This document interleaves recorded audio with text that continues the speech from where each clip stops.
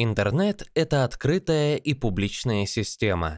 Мы отправляем информацию по общедоступным каналам связи, но, несмотря на открытость интернета, мы часто пересылаем личные данные, например, данные кредитных карт, банковских счетов, пароли и сообщения. Как сохранить личные данные в тайне?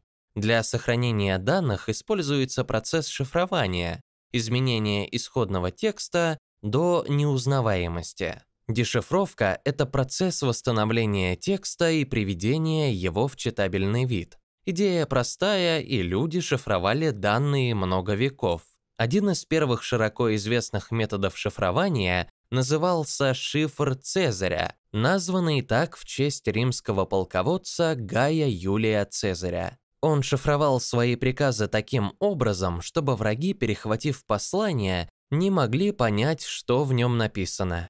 Шифр Цезаря — это алгоритм, по которому каждая буква в сообщении сдвигается по алфавиту на определенное количество позиций. Если о том, насколько нужно сдвинуть буквы, знают только отправитель и получатель, тогда это называется ключом. Ключ позволяет получателю вскрыть тайное послание. Например, если вы отправляете сообщение «Привет», при помощи шифра Цезаря с ключом 5 зашифрованное сообщение будет выглядеть так. Для расшифровки сообщения получатель при помощи того же ключа производит над ним обратное действие.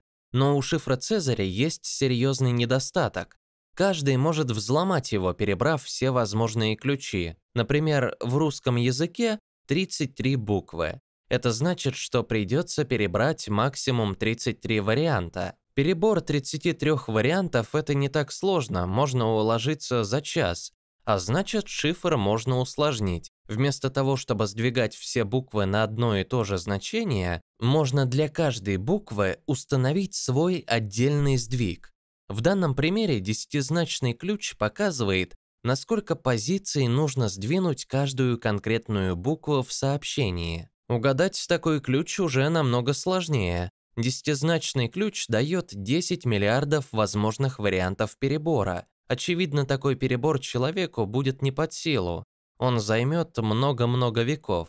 Но современному компьютеру для полного перебора всех 10 миллиардов вариантов понадобится лишь несколько секунд. Поэтому встает задача, как защитить сообщения так, что их будет очень сложно взломать современному хакеру. Под словами «очень сложно» понимается такое количество вариантов перебора, которое не под силу перебрать даже компьютеру за какое-то разумное время. В современных системах шифрования используются 256-битные ключи. Это значит, что перехватчику и его компьютеру придется перебрать вот столько вариантов, чтобы отыскать ключ и взломать сообщение.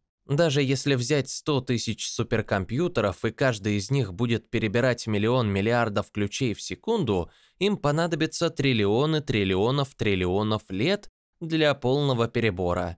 И это для одного единственного сообщения, зашифрованного 256-битным ключом. Да, компьютеры каждый год становятся примерно вдвое быстрее и вдвое меньше, если такой экспоненциальный рост производительности сохранится и дальше, то всего через пару тысяч лет задача полного перебора станет возможной.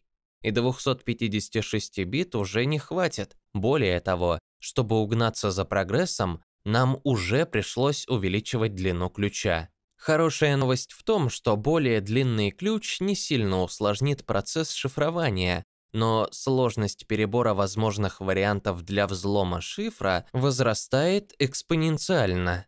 Когда отправитель и получатель пользуются одним и тем же ключом, такое шифрование называется симметричным.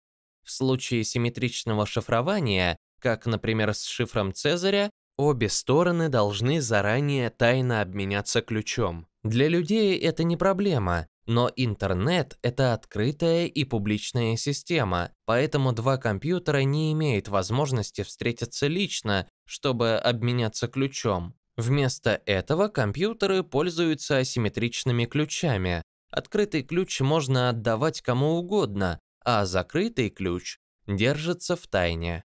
Открытый ключ используется для шифрования. Любой может зашифровать с его помощью свое сообщение, а расшифровать его сможет только тот, у кого есть закрытый ключ. Мы не будем сейчас погружаться в математические формулы, но представьте такую аналогию. Пусть у вас есть почтовый ящик, куда каждый может положить конверт с письмом, но для этого отправителю нужен ключ.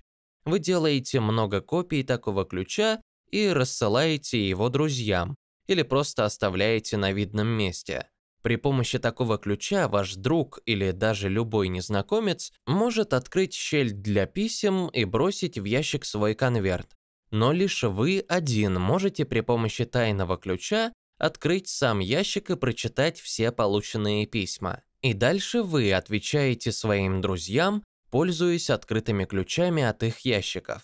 Таким образом, люди могут обмениваться посланиями без необходимости заранее договариваться о тайных ключах. Криптосистемы с открытым ключом лежат в основе всех систем тайной передачи информации в интернете, включая протоколы SSL и TLS, использующиеся для безопасного просмотра интернет-страниц. Ими пользуются все современные компьютеры. Каждый раз, когда вы видите в адресной строке браузера значок замка, или буквы HTTPS, это значит, что ваш компьютер использует шифрование с открытым ключом для безопасного обмена информацией с просматриваемым вами сайтом. По мере роста количества пользователей интернета, все больше в нем передается личных данных, и крайне важно защитить эту информацию. А с ростом производительности компьютеров нам придется придумывать новые способы зашифровать данные так, чтобы их невозможно было взломать.